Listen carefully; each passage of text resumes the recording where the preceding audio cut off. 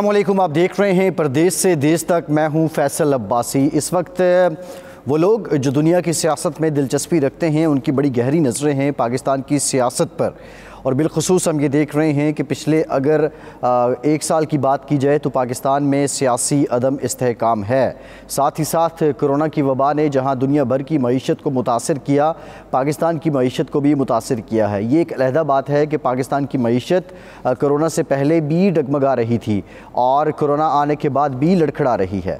इमरान ख़ान, जिन्होंने मीशत को बेहतर करना था और इस बेहतरी के लिए उन्होंने जो लैंडिंग एजेंसीज़ हैं दुनिया भर में आईएमएफ उसके प्रोग्राम को भी शामिल किया। उसके लिए उनकी शराइ भी मानी, लेकिन उन शराइ का असर जो हुकूमती पॉलिसियों हैं उनमें झलक, झलकता हुआ नज़र आया और फिर वो पाकिस्तान के अवाम की ज़िंदगियों में बुरी तरह हायल हुआ और इस तरह हुकूमत की शहरत भी मुतासर हुई। साथ ही साथ पाकिस्तान में जो अपोजिशन है, उसने भी कोई मौका हाथ से जाने नहीं दिया और हुकूमत पर मुसलसल तनकीद करती रही, हुकूमत को आड़े हाथों लेती रही। अब सिलसिला यहाँ तक आन पहुँचा है कि पाकिस्तान में इस वक्त तहरीक अदम अतमाद का शोर है और हर जानब यही तवज्जो जो है, हर जानब यही सवाल है कि क्या इमरान ख़ान अपनी कुर्सी बचा पाएँगे? लेकिन इससे बड़ा सवाल ये है कि पाकिस्तान की मीशत जो इस वक्त भी डगमगा रही है, इस वक्त भी लड़खड़ा रही है, उस पर कितना असर है सियासी अदम इसकाम का? पॉलिटिकल इंस्टेबिलिटी इकोनॉमिक अनसर्टेंटी ये कैसे दो चीज़ें जब साथ हों तो मीशत को कैसे परवान चढ़ाया जा सकता है? एक जानब हुकूमत की जानब से ये दावे किए जाते रहे कि हम मीशत को बैबुक लाना चाहते हैं। हम मीशत को डॉक्यूमेंटेड करना चाहते हैं। और हमने बहुत कुछ किया है, हमने मीशत की बेहतरी के लिए बहुत से काम किए हैं, लेकिन उसकी रिफ्लेक्शन पाकिस्तान के अवाम की ज़िंदगियों पर नज़र नहीं आई है और ना अब आ रही है। बहुत से सवाल हैं, लेकिन जो पाकिस्तान से बाहर मुकीम पाकिस्तानी हैं, यकीनी तौर पर वो रहते तो बाहर हैं, लेकिन उनके दिल पाकिस्तान के साथ धड़कते हैं। वो ख़ासे इस बात पे तशवीश का इजहार करते हैं कि पाकिस्तान की मीशत अपने पाँव पर क्यों खड़ी नहीं हो पा रही। पाकिस्तान की मीशत टेक ऑफ़ क्यों नहीं कर पा रही? कितनी बड़ी रीज़न है कोविड कितनी बड़ी रीज़न है हुकूमती पॉलिसियाँ कितनी बड़ी रीज़न है मुल्क में जारी सियासी अदम इसकाम आज के प्रोग्राम में हम कनाडा में रहने वाले पाकिस्तानी जो दर्द दिल रखते हैं, पाकिस्तान के लिए दर्द वतन रखते हैं, उनके तासुरात जानेंगे, उनकी आरा क्या हैं, वो क्या समझते हैं, कहाँ गलती मौजूदा हुकूमत से हुई, कहाँ गलतियाँ गुजशत हुकूमत से हुई, क्या अब मीशत की डायरेक्शन को जिस जानब इमरान खान की हुकूमत लेकर गई थी, वो डायरेक्शन वाजे है क्या? और जो सियासी अदम इसकाम है, क्या इसके रहते हुए मीशत बेहतर हो सकती है? इन तमाम पहलुओं पर आज के प्रोग्राम में बात करेंगे। मुजाहिद खटक साहब हैं, तजियाकार हैं, हमारे साथ मौजूद हैं। बहुत शुक्रिया खटक साहब आपके वक्त का। रूबीना फैसल साहिबा हैं मायर मीशत हैं, वो भी हमें ज्वाइन कर रही हैं रही हैं। और एहसान खान साहब हैं मायर मीशत हैं, वो भी हमारे साथ मौजूद हैं। तीनों मेहमानों का बहुत शुक्रिया। मुजाहिद खटक साहब जिस तरह इब्तदाई में मैंने गुजारिश की कि political instability and economic uncertainty जब एक मुल्क में दोनों मौजूद हों तो आप समझते हैं कि उस मुल्क की मीशत टेक ऑफ़ कर सकती है? जी, शुक्रिया। असल में ऐसे है कि आप जिस भी मुल्क ने तरक्की की है, चाहे वो मलेशिया हो, चाइना हो, कोई भी हो, सिंगापुर हो, उनमें आप देखें कि उनमें पॉलिटिकल जो इससे काम है, वो मुसलसल रहा है और वो भी वो पंद्रह साल, बीस साल तक कायम रहा है। इसके बगैर आपकी मीशत कभी भी तरक्की नहीं कर सकती। दो चीज़ें हो सकती हैं। या तो आपकी पॉलिटिकल पार्टीज़ कोई मिसाके मीशत कर लें, कुछ बेसिक्स पे आपस में इतफाक कर लें कि जो बेसिक पॉलिसीज़ हैं, हुकूमत किसी की भी आए वो चलती रहेंगी। ये पाकिस्तान में है नहीं, जो भी आता है अपना नया सिलसिला शुरू कर देता है। उसकी वजह से पाकिस्तान में जो ही हुकूमत चेंज आती है पॉलिसी पिछले वाले हुकूमत की पॉलिसियाँ रुक जाती हैं, नई शुरू हो जाती हैं। उसकी वजह से कोई हमारे दरमियान तसलसल नहीं है हमारे मुल्क में। तो या तो आप मिसाके वो कर लें मीशत कर लें या फिर आ, एक ही पार्टी हो जो 10 15 20 साल तक हुकूमत में रहे। उसके बगैर हम्म। मीशत का पॉसिबल ही नहीं है कि आप तरक्की करें। हम्म, लेकिन मुजाहिद साहब एक पार्टी 15-20 साल हुकूमत में रहे वो जमहूरी मुल्क में तो उस तरह मुमकिन नहीं है। कि एक पार्टी रहे। या वो वो ममालिक जहाँ पे डिक्टेटरशिप आती है, उसमें ये पॉसिबल है, उसकी तो बहुत सी मिसालें हैं। या फिर कोई रशिया जैसी पार हो, उसमें एक रजीम दहाइयों तक चलती रहे। लेकिन पाकिस्तान जैसे मुल्क में और वो मुल्क जो अपने आप को डेमोक्रेटिक कहते हैं, उनमें तो एक पार्टी का पंद्रह बीस साल रहना मुमकिन नहीं है। इवन हमारे पड़ोसी मुल्क में भी ज़्यादा से ज़्यादा एक पार्टी को दो टेन्योर मिलते हैं। खैर, रुबीना फैसल साहिबा, ये बताइएगा जो इस वक्त सियासी अदम इस्तेकाम है, बदकस्मती पाकिस्तान की ये रही है कि पाकिस्तान में पॉलिटिकल अनसर्टेनिटी की एक सीरीज़ है। और कोई भी हुकूमत हो, भले रिवाइवल ऑफ़ डेमोक्रेसी ही क्यों ना हो, लेकिन सियासी तौर पर अदम इस्तेकाम यहाँ पर रहा है। कभी बैरूनी साजिशों के नतीजे में, कभी अंदरूनी साजिशों के नतीजे में। लेकिन सवाल मेरा आपसे यही है कि सियासी अदम इस्तेकाम के होते हुए पी टी आई की हुकूमत एक वक्त में जो दावे कर रही थी कि पाकिस्तान की मीशत टेक ऑफ़ पोजीशन में आ गई है उसके असरात तो नज़र नहीं आए। लेकिन आप समझती हैं वर्ड देयर एनी रूम के उनका दावा किसी हद तक दुरुस्त था? जी बहुत शुक्रिया। पहले तो आ, जो खट्टक साहब ने बात की और जो आपने उसमें से एक पॉइंट निकाला कि जमहूरी में जमहूरियत में ये मुमकिन नहीं है कि कोई पार्टी रहे तो मैं आपको कनाडा ही की मिसाल देती हूँ कि ये जो हमारे ट्रूडो हैं इनके फादर जिस ज़माने में थे, इकतदार में तो उन्होंने कंटिन्यूसली तीन टेन्योर जो हैं वो जीते थे। तो अगर आवाम में ये शौर हो कि ये बंदा हमारे लिए कुछ कर रहा है तो तीन मेरा हाल दस से बारह साल तक वो रहे थे। सिर्फ़ एक साल बीच में अपोजिशन में वो गए थे। तो ये मुमकिन है, जमहूरियत में भी मुमकिन है, और हमारे जैसे मुल्क में तो जमहूरियत जिस तरह की है, और अल्लाह माफ़ी दे, जिस तरह की ये जमहूरियत के मनाजिर हम अब देख रहे हैं ना, ये इससे बेहतर तो मैं कहती हूँ कि ना ही हो जमहूरियत उन ममालिक में जहाँ पे इतनी ज़्यादा खरीदो फरोख्त हो। अगर आप मिसाल देते हैं कि जमहूरियत के सही मायने देखते हैं तो उसमें भी मैं आपको छोटी सी कनाडा की मिसाल दूँगी कि अगर कोई बंदा उस पार्टी के टिकट लेने के बाद जब जीत जाता है और उस उस, यानी टिकट पे जीता हुआ बंदा किसी दूसरी पार्टी में उस मीन वाइल ही जाने की कोशिश करता है तो उसका क्या हशर होता है, उसका पूरा करियर खत्म होकर रह जाता है। और ये मिसाल सिर्फ़ एक मौजूद है कनाडा में जब से हम आए हैं और वो भी एक पाकिस्तानी ने ऐसे किया था। वो आज तक उनकी सियासत जो है टोटल ख़त्म है। तो ये वाली ये या तो इस तरह की बातें आप पूरी फॉलो करें जमहूरियत अगर करनी है नहीं करनी तो फिर जिस तरह का मिजाज है फिर वही कि जी वो ये लोटा क्रेसी को अगर आप जमहूरियत हम्म, कह रहे हैं तो हम्म, उसका फिर कोई उसका नहीं है। और आपका सवाल मेरा सवाल मेरा सवाल रुबीना साहिबा ये था कि जो मौजूदा सियासी हालात हैं सियासी अदम इस्तेकाम है इसमें मीशत तरक्की कर सकती है। जी आपने ये जो हाँ आपने ये बात की थी कि इमरान खान की जो हुकूमत है वो किधर जा रही है तो उसमें मैंने अभी एक तो अभी ये सुबह ही रिपोर्ट सारे सोशल मीडिया पर ही देख रहे थे कि जो जॉब जो है पचपन लाख के करीब इन साढ़े तीन सालों में ये जो सर्वे था इसका उसमें रिपोर्ट है एक कि पाकिस्तान में ही प्रोड्यूस हुई है। दूसरा जो एक्सपोर्ट का है, हम कोविड के दिनों में देख रहे थे, जब बांग्लादेश, इंडिया की सारे एक्सपोर्ट उन लोगों ने, यानी लॉकडाउन था हर तरफ़ तो इमरान खान ने चूँकि चीज़ें खुली रखी थी तो इस वजह से जो बीस से बाईस अरब डॉलर जो है टेक्सटाइल के पीटीआई पे, इस साढ़े तीन साल के अरसे में हुई हैं, जिसमें से ये कोविड का भी आप दौर शामिल कर लें। इसके मुकाबले में हम पीछे अगर देखते हैं तो दस सालों में दस से बारह अरब की पीटीआई ये पीपीपी और नून की मिला के दोनों जो थे और मुशरफ के दौर में पाँच से दस अरब थे। ये मैंने अभी मोटी मोटी फिगर्स उठा के देखी हैं तो ये factually with due respect Rubina साहिबा फैक्चुअली ये इनकरेक्ट है। फैक्चुअली ये इनकरेक्ट है ये सर्वे जो भी है वो कोई बाइस्ड होगा जिसने भी किया है। की रिपोर्ट है। जी ये ये फैक्चुअली अगर उनकी भी है। तो ये फैक्चुअली इनकरेक्ट है। But my question to you is कि पॉलिटिकल इंस्टेबिलिटी के होते हुए क्या मीशत टेक ऑफ़ कर सकती है?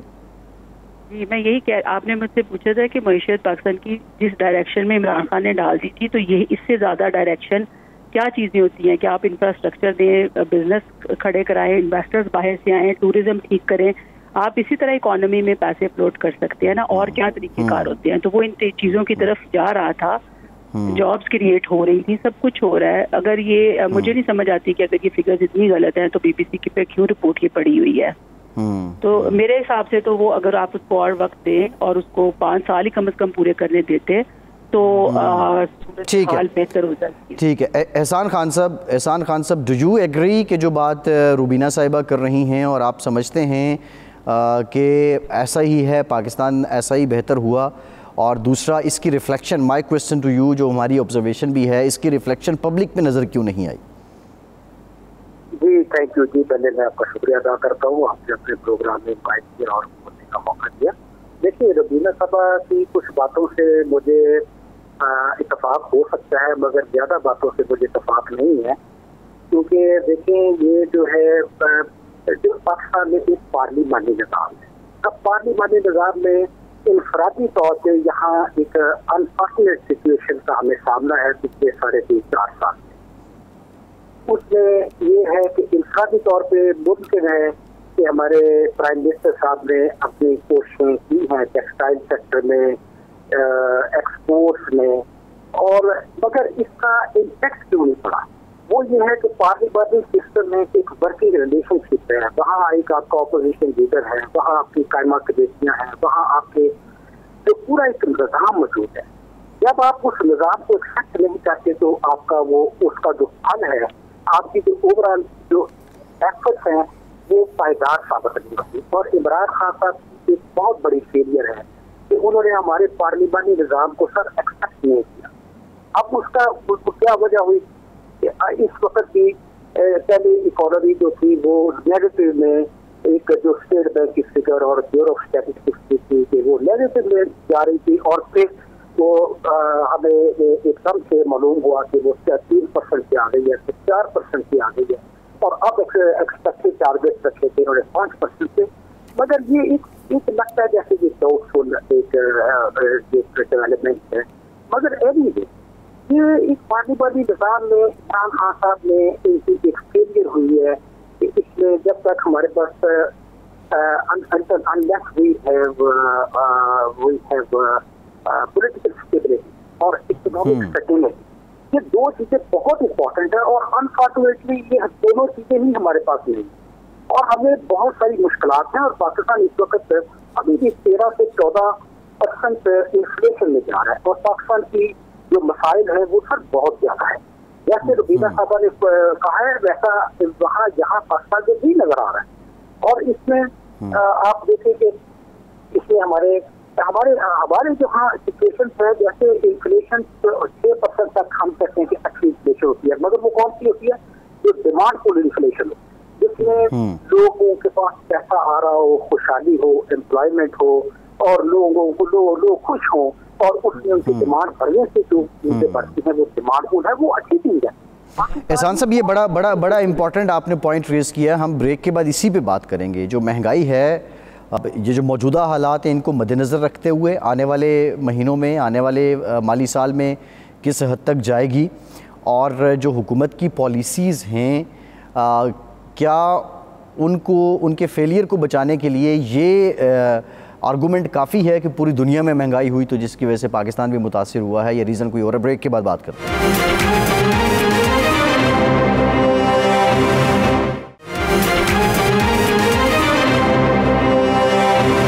ब्रेक के बाद एक बार फिर से आपको खुश आमदीद कहेंगे ब्रेक से पहले हमने कुछ गवर्नमेंट की पॉलिसीज़ की बात की। मुजाहिद साहब, महँगाई की बात ज़रा कर लेते हैं। जो कोर इशू है, आम आदमी का इशू महँगाई है। एक तो ये बता दीजिए कनाडा में कोविड के बाद महँगाई किस तनासब से बड़ी से बड़ी है और वहाँ की हुकूमत की पॉलिसीज़ क्या थी, उन्होंने क्या सब्सिडाइज़ किया तो किस तरह किया? और जो पाकिस्तान में महँगाई है और ये बढ़ रही है इसमें आप क्या समझते हैं कि जो गवर्नेंस मैटर्स हैं, वो कितने ज़्यादा हायल हैं, बजाय इसके कि कोविड जो रीज़न पेश की जाती है? जी कनाडा के बारे में तो रुबीना साहिबा ज़्यादा बेहतर बता सकेंगी। पाकिस्तान के हवाले से मैं ये अर्ज़ करूँगा कि महँगाई की सबसे बड़ी जो दो तीन वजूहत अगर आप देखें, वैसे तो बहुत सारी हैं, बहुत सारी जो मेन तीन वजूहत अगर आप देखें तो सबसे पहले आती है कि सप्लाई लाइन चीज़ों की डिसरप्ट हुई है कोरोना की वजह से।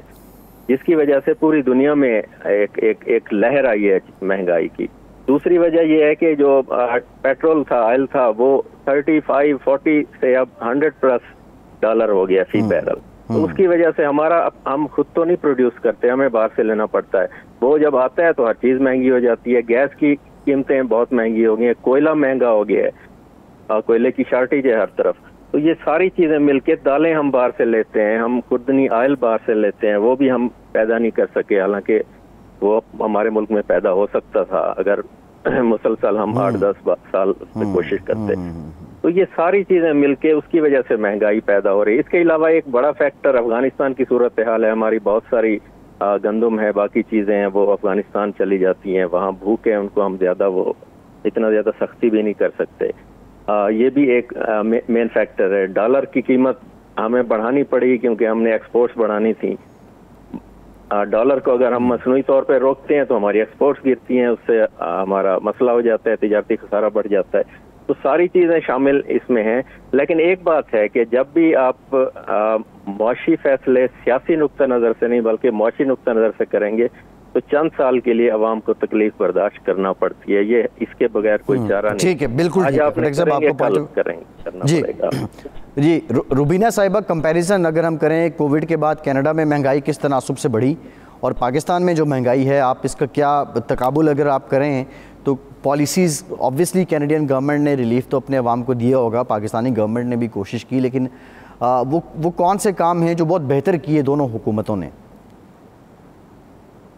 यहाँ पे यही बात है कि जो सप्लाई चेन का इशू था ना, ये कोविड की वजह से, वो कोई छोटी बात नहीं है। वो ये कहना कि जी, ये महँगाई ये नारा है सिर्फ़ कि कोविड में महँगाई होनी थी, सारी दुनिया में है। ये एक बहुत बड़ा फैक्ट है, क्योंकि पाकिस्तान खुद से तो कुछ नहीं प्रोड्यूस कर रहा ना तेल भी बाहर से आ रहा है, हर जगह हर जगह पे कीमतें ज़्यादा हो रही हैं। गैस की कीमत देख लें, कोई भी चीज़ आप देख लें, उठा के तो वो डबल ट्रिपल हो गई है। इसी तरह कनाडा के अंदर जो हम आम बंदे को जो महँगाई हम देखते हैं और जो शोर पड़ा हुआ है, उसमें अब ये है कि दस अगर डॉलर का हम आटे का थैला लेते थे पिछले साल तो वो एक साल के अंदर अंदर बीस डॉलर पे चला गया है। हर चीज़ और एक रिसेंट यानी आज क्या है कि डॉलर डॉलर रामा यहाँ पर एक स्टोर है, जहाँ पे हम जब आए थे नए नए तो एक डॉलर की हर चीज़ मिलती थी, हर चीज़ एक डॉलर की। अब कुछ दो तीन डॉलर पे चली गई। अब आज है कि जी वो डॉलर रामा ने भी वो पाँच डॉलर पे कर दिया उसको।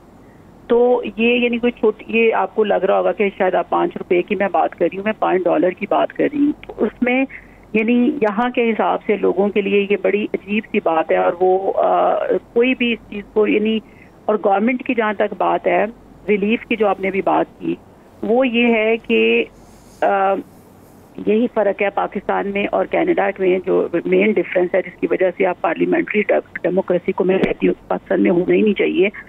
यहाँ पर अब इन्होंने रिलीफ अगर देने थे ट्रूडो की गवर्नमेंट ने तो उन्होंने पार्लियामेंट से वो पूरा जो बिल पास करवाना होता है। और यहाँ पर यही वोट ऑफ़ नो कॉन्फिडेंस होता है। ये नहीं होता कि आप सारे उठ के तो कहें कि हमने वजी अजम को ही हटाना है।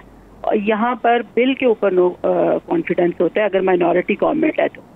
तो उस पर अब ये रिलीफ जो देने थे ठूडो ने, उस पर भी सारे अपोजिशन यानी सब एक जबान होके उन्होंने उस पर एग्री किया कि हाँ ये हम आवाम को रिलीफ दे रहे हैं। कोई उस पर चूँ चरा नहीं हुआ, कोई महँगाई पे, बाकी इश्यूज़ हज़ार होते हैं जैसे सियासत में ज़ाहिर मुहालफतें होती हैं, लेकिन इस बात पे वो एग्री करते हैं और फिर बिल पास होता है। उसके बाद भी गवर्नमेंट ने बड़े अच्छे अच्छे रिलीफ दिए। लोगों ने दो साल बड़ा सुकून किया। लेकिन उसके बाद अब जो इंटरेस्ट वगैरह है वो सब ऊपर जा रहा है महँगाई अब नहीं रोक पाएँगे। अब ये ज़रूर हो हम्म। जाएगा कि चीज़ें उतनी तेज़ी से ऊपर नहीं जाएँगी। अब एक दफ़ा जो महँगाई की वेव आ गई अब ऊपर वहीं पे भी खड़ी रहेंगी लेकिन नीचे भी नहीं जाएँगी। और अगर हम्म। महँगी होंगी भी तो ग्रेजुअली होंगी। तो ये सब इसलिए है कि चूँकि पोलिटिकल स्टेबिलिटी है यहाँ पे अगर माइनॉरिटी गवर्नमेंट ने अपने आप को मेजोरिटी में कन्वर्ट करवाना है तो जैसे टूडो ने कुछ साल पहले अपना ये खुद ही गवर्नमेंट डिजॉल्व करके उसने इलेक्शन के लिए चला गया था। तो वहाँ पे सिर्फ़ एक वोट का उसको फ़र्क पड़ा था और वो भी लोगों ने उसको। बातें सुनाई थी कि तुम इतने पैसे ज़ाया करके सिर्फ़ एक वोट तुम्हें और मिला है क्योंकि वो अपनी माइनॉरिटी गवर्नमेंट को मेजोरिटी में कन्वर्ट कर रहा था। तो ये पोलिटिकल सिस्टम या डेमोक्रेटिक सिस्टम ये है जो पाकिस्तान से जब आप लोग कहते हैं कि पार्लियामेंट्री सिस्टम हो ऐसे ही होता है तो वो हमें समझ नहीं ठीक है रुबीना साहिबा रुबीना साहिबा बेसिकली जो आपने बात की ना फाइनेंशियल बिल की पाकिस्तान के आइन में भी कि अगर कोई हुकूमत फाइनेंशियल बिल मंजूर नहीं करवा सकती तो फिर उसको हुकूमत उसकी प्रैक्टिकली ख़त्म हो जाती है। जी वो प्रैक्टिकली जो है वो ख़त्म हो जाती है और फिर वो दोबारा से प्रेसिडेंट जो हैं वो प्राइम मिनिस्टर को कहते हैं कि आप अतमाद का वोट लें। आ, एक ब्रेक लेते हैं। ब्रेक के बाद एहसान खान साहब के सामने यही सवाल रखेंगे कनाडा में जो हालात रहे और जो पाकिस्तान के हालात हैं बिलखसूस महँगाई के हमारे साथ रहिए।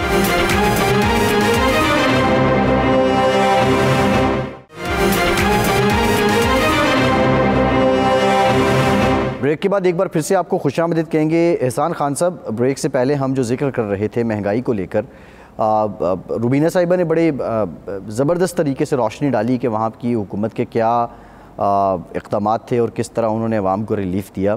लेकिन मेरे इट कम्स टू पाकिस्तान एक बेसिक क्वेश्चन ये है कि महँगाई ठीक है, पूरी दुनिया में बड़ी है। बट जब आप गवर्नेंस पे आ जाते हैं, जब आप प्राइस कंट्रोल पे आ जाते हैं जब आप ज़ख़ीरा अंदोज़ी से बचाव पे आ जाते हैं, आप क्या समझते हैं कि मौजूदा जो एडमिनिस्ट्रेशन है, उसकी, उसने अपना फ़र्ज़ सही तरीके से निभाया है, एहसान साहब? जी, बिल्कुल शुक्रिया जी। बिल्कुल सही फ़र्ज़ अदा नहीं किया जी, मौजूदा एडमिनिस्ट्रेशन ने। बिल्कुल फेल हुई है।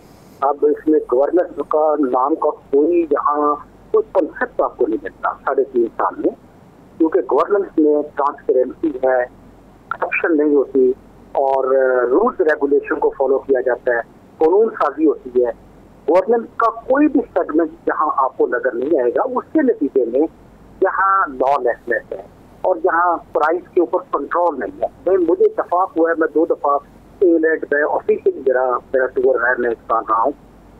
I can compare England with our country उसमें जो इन्फ्लेशन होता है, वो उसमें रुबीना साहबा ठीक कहती हैं कि उनकी एक बात कुछ बातों में एक जवाब मिलता है कि वहाँ ऑपोजिशन और हाउस ऑफ़ कॉमन में और जब वो कैबिनेट कमेटी वगैरह बनती है और उसमें तमाम की रिप्रेजेंटेशन होती है और वो भूल जाते हैं कौन डेमोक्रेट है और कौन दूसरे हैं तो अब देखो कौन लेबर पार्टी है और कौन को, कौन सी दूसरी अगर हम इंग्लैंड की बात बात करें तो आप देखें कि पाकिस्तान में हमारा जो लीडर ऑफ़ द हाउस जो है वो साढ़े तीन चार साल में एक नॉट अ सिंगल मोमेंट वो किसी अपोजिशन लीडर के साथ मिल। जाए कोई कानून साजी असम्बलियाँ यहाँ काम कर रही हैं और ऑर्डिनेंस पास हो रहे हैं। यहाँ बहुत ज़्यादा काम खराब हुआ है साढ़े तीन चार साल में। रुबीना सभा को शायद इतना आइडिया नहीं होगा और उसमें मेरा ख्याल है उसकी कुछ ऑफ़ हो सकती है। यहाँ मिस गवर्नेंस है उस बहुत ज़्यादा और जो इन्फ्लेशन जो है, यहाँ इस वक्त भी तेरह से चौदह परसेंट इन्फ्लेशन है।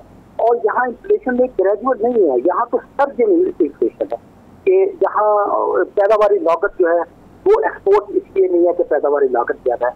पैदावारी लागत की वजह से जो कॉस्ट पुश इन्फ्लेशन है, वो पाकिस्तान उसका शिकार है। और पाकिस्तान के मसाइल बहुत ज़्यादा है। इससे जब तक हमारे एक जैसे जो डेमोक्रेसी की बात कर रहे हैं डेमोक्रेटिक सिस्टम बहुत अच्छा है। पाकिस्तान में एक पार्लियामानी निज़ाम है, इसको चलाएँ तो अच्छा है ना। इसको अगर ना चलाएँगे तो कैसे अच्छा होगा? इसको चलाएँगे तो एक मिसाक जमहूरियत बनती है इसको चलाएँगे तो एक कंसेंसिस होगा इसको हम्म। चलाएँगे तो कानून साजी होगी कवानी जब बनेंगे तो अच्छे कवानी कंसेंसिस के साथ बनेंगे वो इम्प्लीमेंट हम्म। होंगे और उनकी ओनरशिप होगी तमाम पार्टी उनको ओन करेंगी कैसे ये ये इमरान खान साहब कामयाब हो सकते थे जबकि इन्होंने कुछ किया ही नहीं है किसी को ना कोई कानून साजी की है एक सिंगल हैंडेड एक एक एक झंडे के ज़ोर पे एक झूठ के पे एक एक अनफॉर्चुनेटली जी ठीक है ठीक है। मैं मैं जरा मुजाहिद मुजाहिद साहब के पास जी मुझा, जी। आप मैं मैं थोड़ा सा प्लीज़ मुझे एक बात करने दें। यहाँ हम हम्म। कामयाब हो जाते अगर हम कंसेंसस के साथ जाते डेमोक्रेटिक सिस्टम चार साल का ही है। आप देखो ना अमेरिका में चार साल ही है। वहाँ कोई दस साल तो नहीं होता। चार तो दो टर्म में आठ साल की है। तो असल में यह है कि इकोनॉमिक पॉलिसी जो है वो वो चार्टर ऑफ़ इकोनॉमी जो है वो बने। और वो लॉन्ग टर्म का हर आने वाली हुकूमत जो है जब तक ठीक है मैं मैं ज़रा मुजाहिद साहब के पास तो मुझे एहसान साहब मुजाहिद साहब के पास जाना है। मुजाहिद साहब आईएमएफ एक बड़ी बड़ी डिबेट रही हमारे यहाँ आईएमएफ को लेके। पूरी दुनिया में होता है। आईएमएफ जो है वो बेसिकली मॉनेटरी फंड है। उसने जब किसी को कर्ज देना है तो उसने फिर कुछ कंडीशंस भी बतानी है कि put your economy in order लेकिन आईएमएफ की कंडीशंस आप क्या समझते हैं कि कितनी बड़ी रीज़न है पाकिस्तान में महँगाई की? और इस हुकूमत ने आप समझते हैं कि जो कंडीशंस आईएमएफ की जानब से सारी दी गई, उनको मिनोवन मान लेना, कबूल कर लेना ज़रूरी था? देखिए, आप आईएमएफ का जो मौजूदा हुकूमत ने कंडीशन मानी है, या उन पे जो कंडीशंस आयद की गई हैं, उनको कंपेयर करें जो जरदारी दौर में या नवाज़ शरीफ साहब के दौर में ली गई हैं, उनके साथ माहदे हुए हैं। तो आपको वाज फ़र्क नज़र आएगा कि उस दौर में जो जो भी कंडीशंस थी, वो निस्बतन बहुत आसान थी पैकेज बड़ा था और कंडीशंस भी बहुत आसान थी। इमरान खान के दौर में कंडीशंस बहुत सख्त थी। बज़ाहिर बादी और नज़र में तो यही नज़र आता है कि ये इसके पीछे पॉलिटिकल मोटिव थे। अब जो ये ख़त का जो सिलसिला चल रहा है, अगर उसको भी सामने रखें तो फिर महसूस होता है कि मौजूदा हुकूमत को आईएमएफ के थ्रू और फैटफ के थ्रू कोशिश की गई है कि इनकी गर्दन मरोड़ी जाए इन पे सख्ती की जाए। और सख्ती करने ऐसी शरात लगाई गई हैं जिनका डायरेक्ट डायरेक्ट असर आवाम पर पड़ता है कि बिजली में सब्सिडी खत्म करें फला हम्म। चीज़ में सब्सिडी खत्म करें उसमें महँगाई करें उसमें महँगाई करें।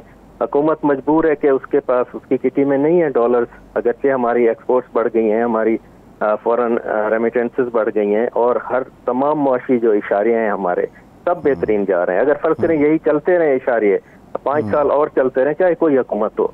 तो हमारी एक्सपोर्ट्स हमारी तकरीबन पचास अरब डॉलर तक हम बांग्लादेश के करीब पहुँच जाएँगे। हमारी फॉरेन रेमिटेंसेस बढ़ जाएँगी हमारा तजारती खसारा कम हो जाएगा।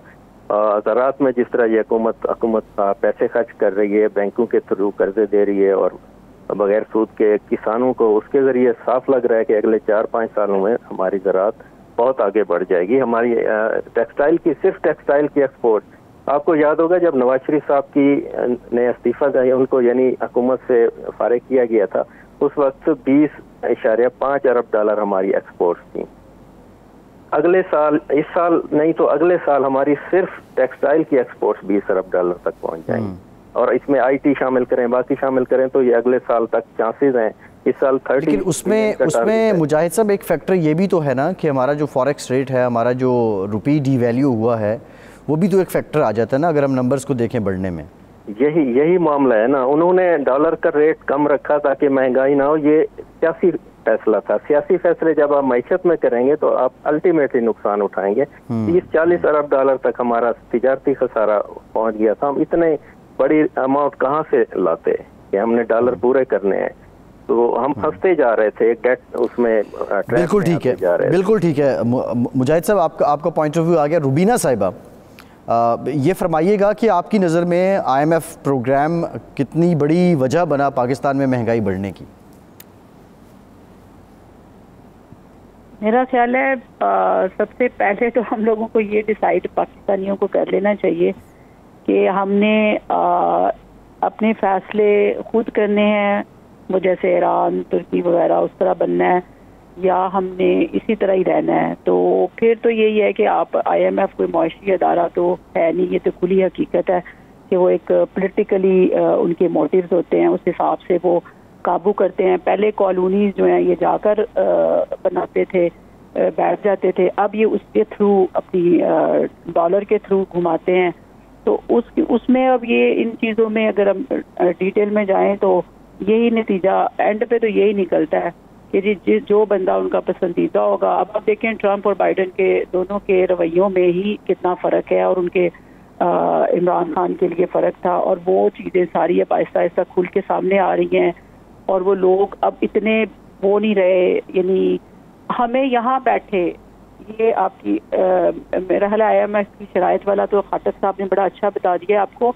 मैं ये बताना चाहूँगी कि मैं, हम यहाँ बैठे हैं ना तो अमेरिका और कनाडा के अंदर बेशक वो लोग अब नाराज़ भी हो जाएँ लेकिन मुझे ये कहने में कोई आर नहीं है। आपके ऐसे लोग जो पाकिस्तान की हर अच्छी चीज़ के खिलाफ बोला करते थे या वो आ, उनका एजेंडा ही यही होता था वो सब जो है ये परेशान थे कि ये इमरान खान कैसे आ गया ऊपर। मुझे सिर्फ़ इस बात का जवाब नहीं मिलता आज तक कि ये क्या था। तो इन चीज़ों पे फिर अगर आप देखें कि सख्तियाँ मुशी तौर पे उन पर लगी या जो भी हुआ क्राइसिस में एक बंदे को ला के जैसे वो दिखाना नहीं होता कि ये लो जी ये आ गया है और ये कर कुछ नहीं सकेगा हाथ पैर बाँध के फेंक देना किसी को। तो ये मैं हम लोग तो यहाँ पर बैठ के इन चीज़ों को इसी तरह देख रहे हैं।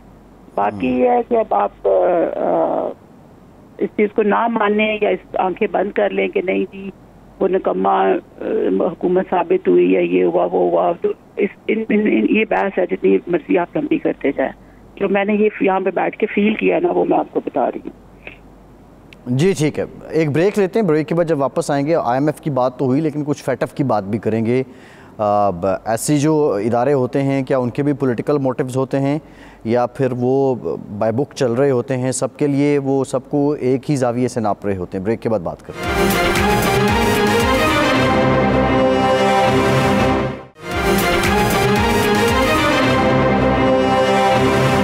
ब्रेक के बाद एक बार फिर से आपको खुश आमदेद कहेंगे एहसान खान साहब फैटफ भी एक ऐसा इदारा रहा जिस पे बहुत से क्वेश्चन मार्क होते रहे। पाकिस्तान ने उनकी तकरीबन सारी कंप्लाइंस कर ली, लेकिन उसके बाद उन्होंने कुछ नई डिमांड्स सामने रख दी। तो आप समझते हैं, जो अगर फैटफ इस बात को तस्लीम कर लिया जाए कि फैटफ के भी पॉलिटिकल मोटिव्स हैं तो उस वजह से हमें खासा सफ़र करना पड़ा। जी हंड्रेड परसेंट जी, फैटफ के आईएमएफ हो सेटअप हो इन तमाम के पॉलिटिकल मोटिव है। अब फैक्ट क्या है? ये बुनियादी तौर पे तो इसके बोनाफाइड ये कॉन्सेप्ट रखे हुए कि ये जैसे लगता है दिस इज़ फॉर ऑल मगर ऐसा होता है। मिसाल के तौर पर इसका क्या मतलब है? फाइनेंशियल एक्शन टास्क फोर्स अब ये है ये इंटरनेशनल एंटी मनी लॉन्ड्रिंग और कॉम्बेटिंग फाइनेंसिंग ऑफ़ टेररिज्म और प्रोलिफरेशन अब देखिए पाकिस्तान के अगर हम बैकग्राउंड को देखें तो पाकिस्तान को वो ज़रूर समझते होंगे कि पाकिस्तान में तो टेररिज्म की फाइनेंसिंग ऐसा पाकिस्तान की सरजमीन से नहीं है और ना हमारा कोई प्रोलिफरेशन में कभी हिस्सा रहा है इसके सिर्फ़ पोलिटिकल मोटिव रहे हैं। आम तो हमारी ज़मीन, सरजमीन जो है, वो यूज़ टेररिस्ट के हाथों में यूज़ होती होगी। मगर इसके ज़्यादा पोलिटिकल मोटिव है, मगर हमने इस सिलसिले में उनको कन्विंस करना है। दो उन्होंने एस्टिमेट किए एक जून 2018 में किया जिसमें तो उन्होंने हम्म। बिल्कुल पाकिस्तान के ऊपर इसको टाइट रखा ग्रे लिस्ट में और उसके बाद अक्टूबर 2021 में दोबारा उन्होंने इसको चेक किया और जैसे आपने कहा कि काफ़ी हमने कंप्लेंट कर दी है मगर अभी भी वो मुतमिन नहीं है। और मैं समझता हूँ कि अभी जो मुतमिन नहीं है वो पाकिस्तान को दबाव में रखने का ज़रिया है। ये ये बड़ा बड़ा इंपॉर्टेंट पॉइंट है एहसान एहसान साहब बड़ा इंपॉर्टेंट पॉइंट आपने उठाया है। मुजाहिद साहब से ज़रा मैं इस पर पॉइंट ऑफ़ व्यू लेना चाहूँगा। मुजाहिद साहब कंप्लाइंस हमने कर ली जो उन्होंने कहा हमने मान लिया उसके बावजूद दे आर नॉट कन्विंस्ड अब इसमें क्या क्या हमारे हमारा कोई डिप्लोमेटिक जो एस्पेक्ट है उसमें कमी रह गई है? या अगर हम डिप्लोमेटिक पॉइंट ऑफ़ व्यू से भी उनको कहीं ना कहीं जाके कन्विंस करने की कोशिश करते तो जो उन ताकतों का मोटिव है, जो फैटअप के पीछे हैं, उन्होंने नहीं होने देना था या कोई और रीज़न है? मेरा ख्याल है कि इसका ताल्लुक है, जो ग्रेट गेम है, या दो जो इस वक्त मशरक और मगरब, या चाइना और अमेरिका आपस में मुकाबले में आ गए हैं तो उसमें पाकिस्तान दरमियान में बैठा हुआ है, और पाकिस्तान ने ज़्यादा पाकिस्तान का रुझान चाइना की तरफ़ है तो उसकी हमें सज़ा मिल रही है। ये तो कंफर्म है। तो यानी बज़ाहिर कंफर्म लगता है। इसके अलावा अफ़गानिस्तान में जो सिचुएशन बनी है तो उसमें पाकिस्तान ने निस्तन आज़ाद खारजा पॉलिसी का मुजाहरा किया है। तो उस पर भी अमरीका बहादुर नाराज़ है खफा है। और अमरीका के सबसे ज़्यादा वोट हैं फैटफ में आप जानते ही हैं।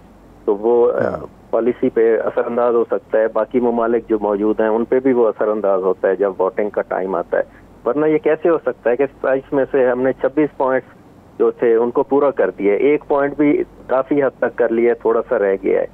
तो उस पे हमें ये सजा दी जा रही है। अगर बाकी ममालिक को देखा जाए जिन पे जो ग्रे लिस्ट में नहीं है तो उनका अगर जायजा लिया जाए तो वो तो बहुत सारे पॉइंट्स में लैग करते हैं पीछे हैं पाकिस्तान से। तो इसके तो यकीनन सियासी मकासद हैं इसका और कोई भी नहीं है। ये बात मरोड़ने वाली बात है। हम्म, ठीक है। रूबीना साहब यही क्वेश्चन आपसे। फैटफ के जो मामला हैं उनकी बातें सारी मानने के बावजूद हम उन्हें कन्विंस क्यों ना कर पाए? जी वो तो ये इन दोनों हटक साहब ने भी बिल्कुल ठीक कहा और एहसान साहब भी अब आखिर मान ही गए हैं कि हम पे सख्ती कर रहे हैं पाकिस्तान पे किसी वजह से। लेकिन फैटफ का जो रोल मैं आपको बताना चाहती हूँ ना बाहर बैठे हुए पाकिस्तानी की हैसियत से वो हम ये है कि बड़ा अजीब सा हमें नज़र आता है कि आप देखें कि जब उधर से पैसे पाकिस्तान से भेजने होते हैं किसी ने। इतने इतने भर भर के थैले इधर पहुँच रहे होते हैं। मनी लॉन्ड्रिंग खुल्लम खुल्ला और इन मुल्कों को पता ही है ना। कनाडा में यहाँ पे जायदादें हैं, अमेरिका में हैं, इंग्लैंड में हैं, और वो सब, वो पैसा, यानी उस पैसे की मूवमेंट पे एक आईब्रो भी किसी की नहीं ऊपर उठती। लेकिन अगर हमने कोई पैसे 2000 डॉलर भी पाकिस्तान में भेजने होते हैं तो वो पूरा एक चेक होता है कि जी क्यों, क्या, कैसे। यानी कि ये एक कॉमन बात है जो हर पाकिस्तानी यहाँ बैठा महसूस करता है कि जी इतनी क्वेश्चनिंग होती है यानी स्क्रूटनाइज किया जाता है उस चीज़ को। क्वेश्चनिंग तो नहीं स्क्रूटनाइज किया जाता है उस पैसे को जो जा रहा है पाकिस्तान। अच्छा मैं मैं ज़रा ख़ता कलामी की मुआफ़ी रुबीना साहिबा ऐसा नहीं है। अब जो रिसेंट चल रहा है ना पाकिस्तान में यहाँ से पैसा अगर आपने बाहर भेजना भी होगा तो उसकी भी एक लिमिट है और उसके अलावा उस पर भी बहुत से क्वेश्चंस रेज किए जाते तो हैं और बिलखसूस बिलखसूस जो एफ़ एम यू है। वो वो बड़ा ये फैटअप की कंप्लाइंस के बाद खासा फ़ाल हो गया है। और इसीलिए फैटअप जो है वो लोग कहीं ना कहीं जाके मुतमिन हुए हैं। उन्होंने हमें ब्लैक लिस्ट में नहीं डाला ग्रे लिस्ट में रखा हुआ है। ऐसा हरगिज़ नहीं है कि अब ऐसा हो रहा है। अब काफ़ी हद तक मामला यहाँ पाकिस्तान में रहते हुए आपको बता रहा हूँ कि कंट्रोल्ड है। पीटीआई की गवर्नमेंट में हुआ ना। इसीलिए तो यहाँ बैठे कई लोग जो है इस बात पे खफा हैं और उसको गालियाँ निकालते हैं इमरान खान को तरह के वो बिजनेसमैन सो कॉल्ड बिजनेसमैन जिनका काम ही यही था। इसीलिए तो वो खफा है कि इमरान खान क्यों बैठा ये काम कर रहा है। तो यही तो मैं आपको बता रही हूँ कि जो चीज़ें लोगों के ज़ाती मफादात को धचका मार रही हैं वो कौमी मफाद के अगेंस्ट भी जाती हैं। नहीं आपका पॉइंट ऑफ़ व्यू ये था विद रिस्पेक्ट आपका पॉइंट ऑफ़ व्यू ये था कि अगर बाहर से हम पैसे भेजते हैं उस पर बहुत ज़्यादा सवाल होते हैं वहाँ से कोई लेके चला जाता है उस पर सवाल नहीं होते। सो मैं आपको सिर्फ़ ये बताना चाह रहा हूँ अब वो सिलसिला नहीं फैटफ की बात कर रही हूँ ये मैं फैटफ की बात कर रही हूँ ये इनके डबल स्टैंडर्ड्स हैं। और ये हमने यहाँ बैठ के ये मैं सिर्फ़ अपनी बात कर रही हूँ ये कल परसों ही एक साहब जो हमेशा से ही कनाडा में रहते हैं, और काफ़ी सीनियर हैं, वो भी ये बात कर रहे थे वो सब परेशानी में थे, उनको कोई अपने कोई पैसे पाकिस्तान भिजवाने थे तो वो कहते हैं कि ये 500 किस्म की जो है ये इसमें क्वेरीज चल रही हैं मेरी। तो ये हम वही हैरान होते हैं कि जब उधर से, हालाँकि यहाँ पे बड़ा बड़ा बड़ा इमिग्रेशन के जब हम होता है कि जी पैसा black money is not allowed है, जब हम बिज़नेस क्लास में इमिग्रेशन यहाँ पर देते हैं तो वो बड़ा जब मैं इमिग्रेशन की क्लास लेती थी तो वो टीचर बार बार इस बात पे ज़ोर देता था कि जी black money is not allowed तो वो हम मैंने उसे तब भी पूछा था कि वो चेक करने का क्या तरीका है? तो उसके पास कोई जवाब नहीं था वो हंस के चुप कर गया। उसका मतलब ये होता है कि वो ओके हैं। उन्होंने कहाँ जाके वेरीफाई करना है कि ये मनी कहाँ से आई है? पाकिस्तान में इन्होंने कितनों को लूटा या क्या किया? वो तो सिर्फ़ ये है कि इधर की इकोनॉमी को फ़ायदा हो रहा है। तो वो चुप कर जाते हैं। ये ड्यूल स्टैंडर्ड है फैटफ का मैं आपको ये बता रही हम्म, ठीक है। बहुत शुक्रिया रूबीना फैसल साहब। आपका बहुत शुक्रिया मुजाहिद खटक साहब आपका शुक्रिया एहसान आपका शुक्रिया। आज के प्रोग्राम से इजाज़त दीजिए।